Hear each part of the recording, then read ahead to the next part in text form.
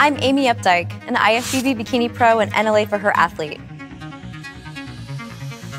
Today we're going to be going through one of my glute, hamstring, and calf workouts that I like to do to really focus on muscle building for the back of my legs. If you're ready, I'm ready. Let's go do it. We're gonna start this workout by doing side steps with a resistance band around your knees, doing 20 steps each direction for two sets. During the side steps, you'll be in about a half of a squat, keeping your spine neutral and your chest up. You're going to be taking small steps from side to side to really keep the tension on your glutes. I like to warm up with the resistance band side steps to really warm up the outer glutes. Exercise number two is barbell hip thrusts using a resistance band around your knees. We are doing 12 to 15 reps for four sets. Hip thrusts are one of my favorite exercises for really isolating and building the glutes. While doing this exercise, you'll want to focus on keeping your knees out versus letting your knees fall in, and then thrusting all the way up with your hips and squeezing your glutes at the top of every rep. On the last rep of each set, I want you to hold and squeeze your glutes while holding the barbell up for as long as you can. Focus on really feeling your glutes squeezing and holding until they get fatigued.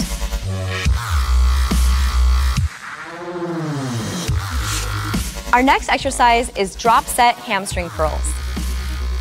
We're gonna be doing eight to 10 reps of a heavier weight and then dropping it down to eight to 10 reps of a lighter weight for four sets.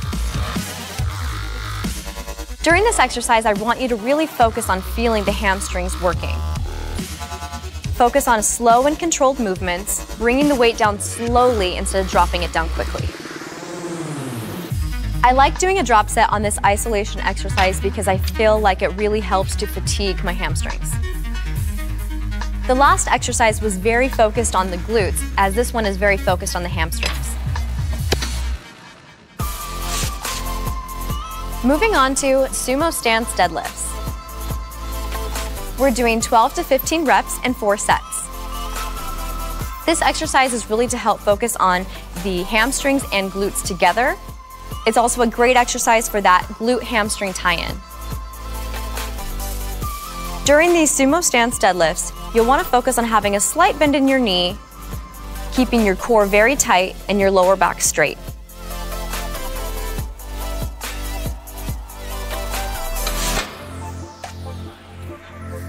Exercise five is going to be on the leg press. We'll start by doing a high and wide stance, supersetted with a narrow stance. You'll want to do six reps of the wide and then six reps of the narrow, supersetting, and four sets. While doing the wide stance, you'll really notice that the inner thigh is being targeted. When you're doing the narrow stance, you'll notice that the outer thigh and back of your hamstrings are being targeted. This is a great exercise to really push yourself and to add a lot of intensity into your workout.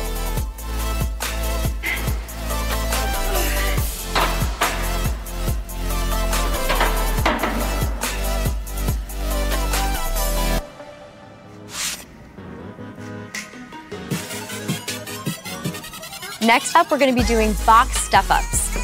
20 reps each leg for four sets. I want you to do one leg 20 reps and then switch to the next leg for 20 reps. If you're looking to add a little bit of cardio into your weightlifting, this is a great exercise to really go fast and increase the intensity. This is a great exercise to do at the end of your workout as it really burns out the legs, all of the muscles that you've already been using.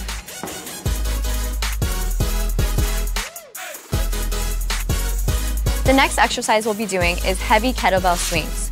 For the first two sets, you're going to be going to about 12 to 15 reps, and your last one, go until failure.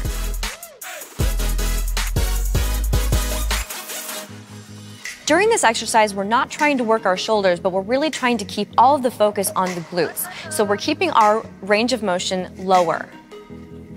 Allow the kettlebell to swing down between your legs and really thrust up with your hips at the top of each rep. Since this is going to be your last glute hamstring exercise for this workout, I really want you to focus on burning out and finishing hard with these kettlebell swings. And that's why I want you to go till failure.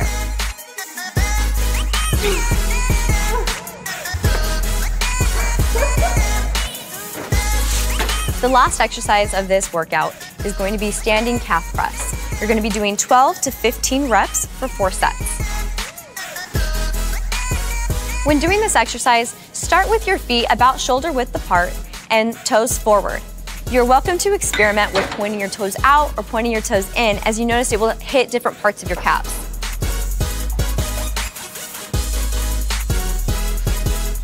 Most women are so focused on wanting to build their glutes that they kind of forget to work out their calves, but it's nice to have a good balance in your legs.